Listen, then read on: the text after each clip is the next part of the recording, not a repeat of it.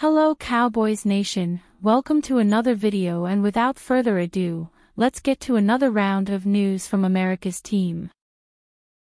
Dak Prescott teases potential extension news. Dallas Cowboys quarterback Dak Prescott gave an encouraging update on his contract situation following practice on Thursday, August 15. Prescott is heading into the final year of the four-year, $160 million deal he signed with the Cowboys in 2021. If Dallas doesn't reach an extension with Prescott, he'll be a free agent next offseason. The Cowboys are also negotiating with wide receiver CeeDee Lamb, who has been holding out for a new deal. Defensive superstar Micah Parsons is also on the list of players with whom the Cowboys want to lock in a long-term deal. There hasn't been much movement on Prescott's contract situation, but the quarterback's tone was positive about the latest developments. Good conversations are going on, I will say that, he said. A lot of good things are going on there. A lot of confidence. I have confidence in my guys and these guys getting something done. I'm happy where I am right now and that's really where my focus is. I enjoy being a cowboy, 1000%. I enjoy living in Dallas. I enjoy everything about it. But this is a business. Conversations are going well.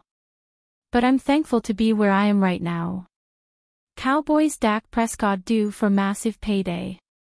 Prescott topped the NFL in completions, 410, completion percentage, 69.5%, and touchdown passes, 36, last season, amassing 4,516 passing yards. He finished second in MVP voting and is in the top tier of passers in the league. Prescott will have multiple suitors if he hits free agency and avoids any major injury this season. The top of the market in annual value is currently $55 million per season, with Jacksonville Jaguars QB Trevor Lawrence, Packers passer Jordan Love and Cincinnati Bengals star Joe Burrow all earning that number. Cowboys Chief Operating Officer Stephen Jones recently said on The Doomsday Pod that they see Prescott as a partner in the contract talks. As you continue to push money out on these quarterbacks' salaries, that money pushed comes back home to roost, Jones said. We look at it like Dak's our partner in this. We're trying to win a championship. No one wants to win a championship more than Dak Prescott, I can assure you that. And we don't look at it like we're trying to, you know, pay him not to go somewhere else. Dak Prescott not looking to take discount from Cowboys. The Cowboys should not expect Prescott to take a discount on his next deal. The 31-year-old passer made that very clear with his recent comments. I'm a guy that grew up with two older brothers, Prescott said on Friday, August 2nd.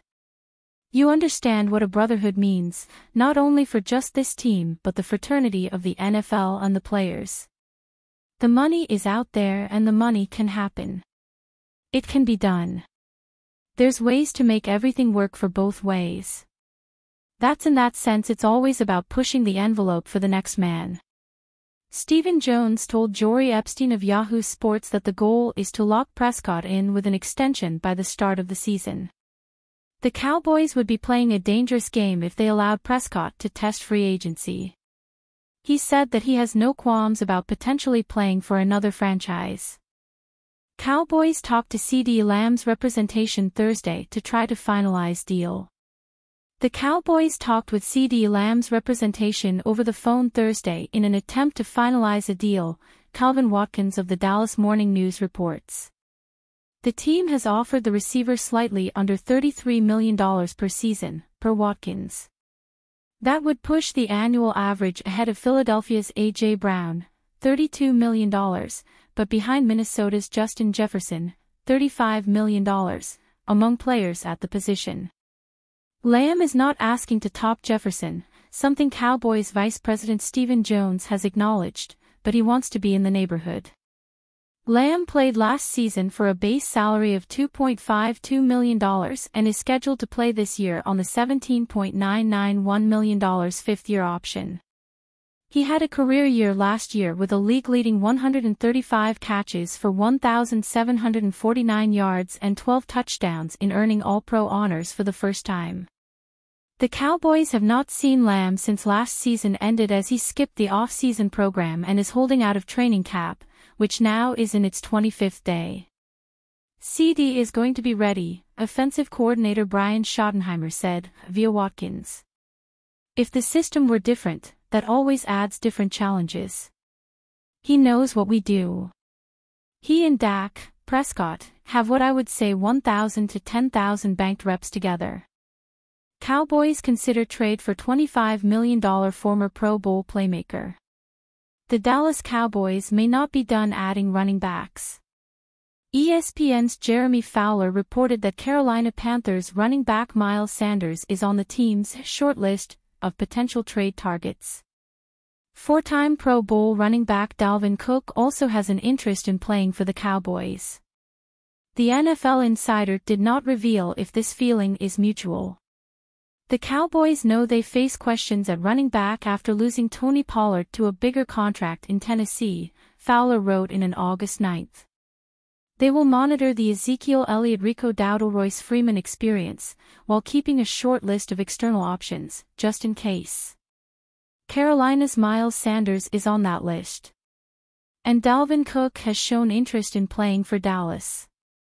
As it stands, Elliott is slated as the starter, but the Cowboys will manage his snaps. They need Dowdle to stay healthy, McCarthy likes what he has shown in camp. And the team really likes Freeman's tape from the Rams last season and believes he can be an impact RB2 slash RB3 option, a banger in small doses.